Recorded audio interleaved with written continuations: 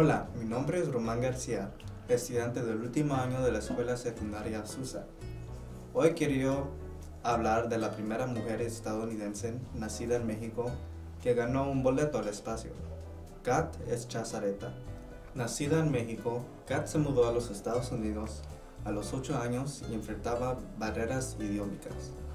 A pesar de esto, trabajó duro y aprendió inglés con fluidez en dos años. Su madre le inculcó una sólida ética de trabajo y la animó a perseguir sus pasiones como el espacio, las matemáticas, la astronomía y la física. Estos intereses persistieron durante toda su infancia.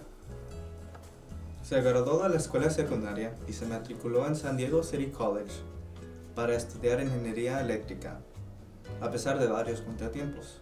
Después de tres años, pronto se transfirió a UCLA donde tuvo su BS en Ingeniería Eléctrica. Durante su estancia en UCLA, Kat hizo una pasantía en JPL de la NASA. Kat está cursando una maestría en Ingeniería Eléctrica en la Universidad John Hopkins y recibió un doctorado honoris causa por sus contribuciones humanitarias y su tecnología. Se convirtió en 2022 en la primera mujer en el espacio nacida en México seleccionada por el espacio para humanidad para analizar el efecto panorama.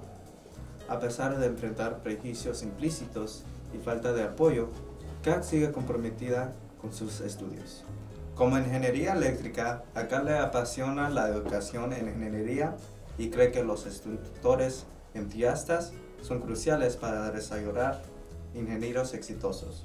Su trabajo en general fue la comunicación de ciencia e ingeniería, cuyo objetivo es cerrar brechas para estudiantes y jóvenes profesionales.